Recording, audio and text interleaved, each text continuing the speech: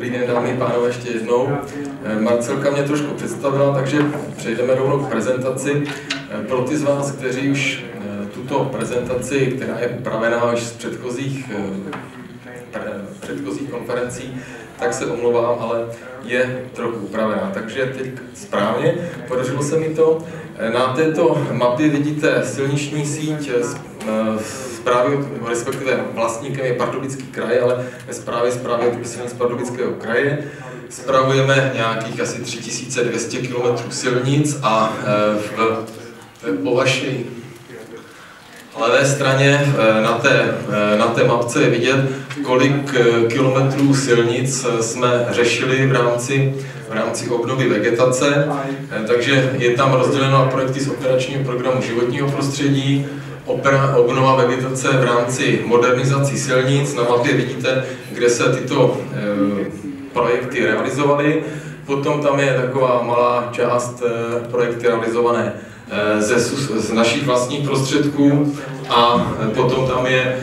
dotační programy obcí, kdy ve spolupráci s obcí na základě vzájemné nějaké spolupráce a koordinace došlo k obnově vegetace v určitých, na určitých kilometrech silnic. Jenom pro porovnání třeba s kolegou předředníkem z Mecklenburska, takže toto je bezmála asi 300 km při nějakých 3000 nebo 3200 km silnic, což jsme zrealizovali při asi posledních deseti letech nebo 12 letech, tak když tady říkal, že dělali 300 km, nevím, jak velkou mají silniční síť v rámci jejich země. Tak, přejdeme k dalšímu slajdu. První část a hlavní teda se týká informace o projektech z operačního programu životního prostředí. Tady vidíte, že snažili jsme se o výsadbu nových stromů a v místech, kde, kde se zpravidla modernizovaly silnice nebo kde prostě ta možnost nové výsadby byla. Celkem bylo tedy pět projektů, náklady, náklady projektu byly 40 7 milionů, dotace 33 milionů a celkově jsme vysázeli nějakých 4700 alejových stromů a nějaké ovocné stromy a asi 12 000 keřů. Tady je příklad, jak vypadaly dílčí projekty, takže abych to zbytečně neprotahoval, tak jsem si vybral pouze jeden úsek, takže vždycky jsme se zaměřili na nějakou lokalitu, která, které jsme se snažili podrobně zpracovat. A tady je konkrétně třeba ta lokalita, takzvaně Třemošnická. A zde je ukázka pohledu na, na dvě silnice. Z vašeho pohledu zase vlevo to je silnice 2 lomena 337, kterou já z těch projektů považuji takzvaně za nejhezčí, kdy se podařilo vysadit nové stromy v souladu s požadavky jak na bezpečnost silničního provozu, to znamená, jsou tam dodržená rozhledová pole zatáček, křižovatek a i rozumné bezpečné vzdálenosti od silnice, od spevněné části vozovky. A druhá část je zase jednostranná výsadba převážně ovocných stromů v úseku Třemošnice Kněžice. V této lokalitě jsme právě vysázeli vysadili nejvíce ovocných stromů, protože to je lokalita s minimální hustotou provozu a jak na tomto obrázku je vidět, byly to převážně jednostranné výsadby, aby v budoucnu, když by bylo potřeba s komunikací něco dělat, tak aby bylo kam ustoupit. A tady je celkový přehled financování, Zmíním se hlavně o tom, že už i třeba na konferenci v Praze teďka v lednu bylo konstatováno, že alfou a omegou jakýchkoliv výsadeb je následná péče. My jsme hnedka od začátku se snažili, aby součástí té projektové dokumentace byla u buď to pětiletá, u těch posledních projektů už pouze tříletá následná péče, protože bylo to tady i některými předřečníky řečeno, špatně založený strom nám přinese problémy v budoucnu. Takže z těch rozpočtů je vidět, jakou částku, jakou částku jsme dávali do následné péče, která kromě zálivky, která byla i nejnákladnější, zahrnovala výchovné řezy, obnovy kůlování a no, obnovy kůlových obsekávání a prostě udržení, udržení těch dřevin v konkurenčně schopném provozu. Tady, nej, jelikož projekty z operačního programu životního prostředí mají udržitelnost 10 let,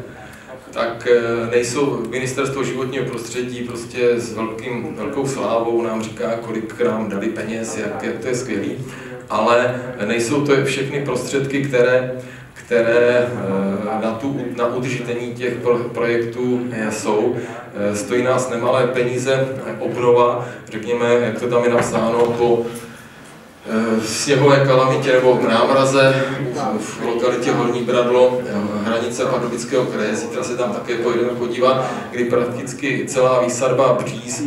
byla zničena tou námrazou a respektive všechny břízy, které jsme které jsme v uplynulých letech vysadili, tak byly skoro všechny poškozeny tou námrazou. Minimum, minimum se jich zachovalo, takže eh, tadyhle mám, myslím, že mám, měl jsem tam nějaké částky, eh, toto nás asi eh, stálo nějakých 550 tisíc ty škody a na těch dalších projektech to je cirka nějakých 160 tisíc, takže já předpo, přestože tam byla částka nějakých x milionů, takže já očekávám, že to budou zase další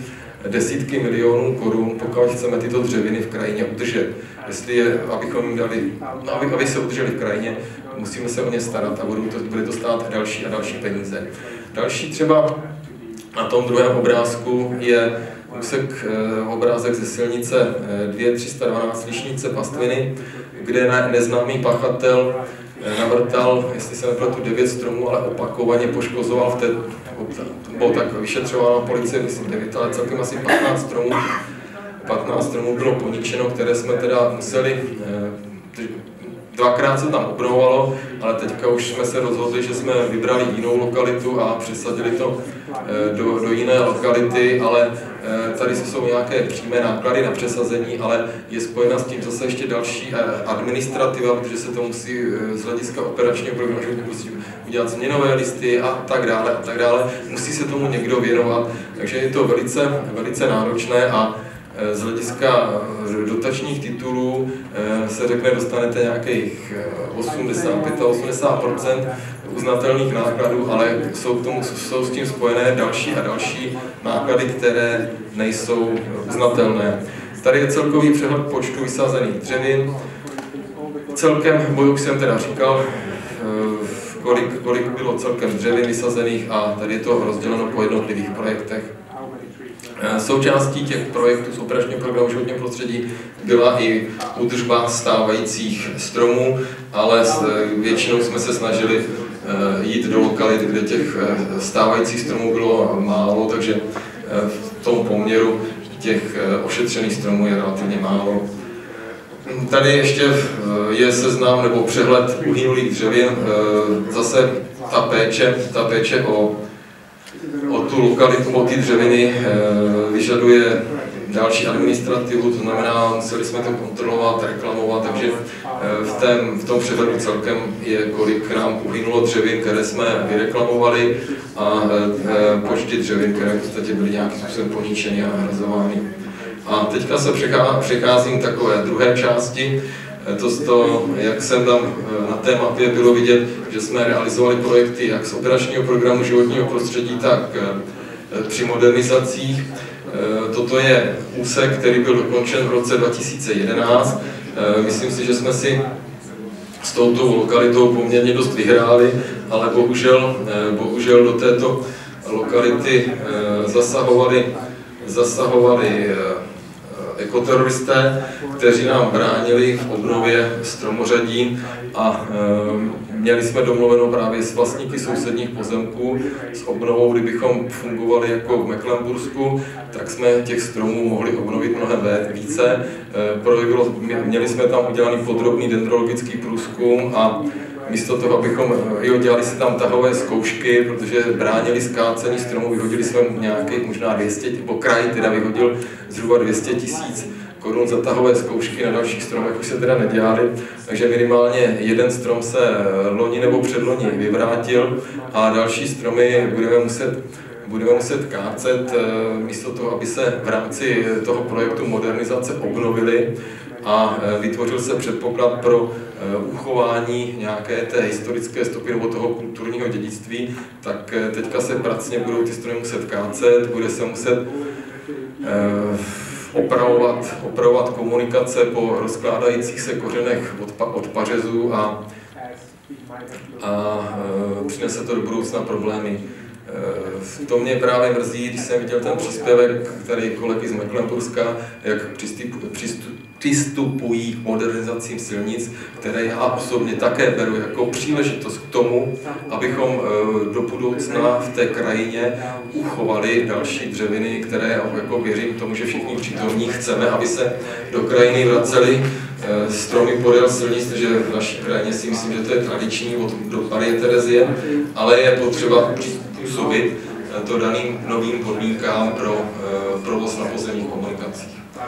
Tak, ještě tady mám takovou, takový dodatek, dočasná vegetace, hovořím o tom o, na těchto konferencích, je to takový spor s Ministerstvem životního prostředí, tam, tamhle s panem Kotěborem, který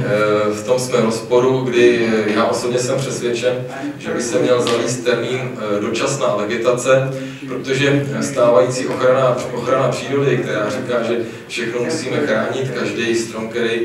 vyroste i náletový a vstupují do procesu povolování kácení, ať už občanští aktivisté, zhruba včas, dost často by spíš odpovídal výraz ekoteroristé, tak i ochrana přírody a tak vlastníci pozemků nebo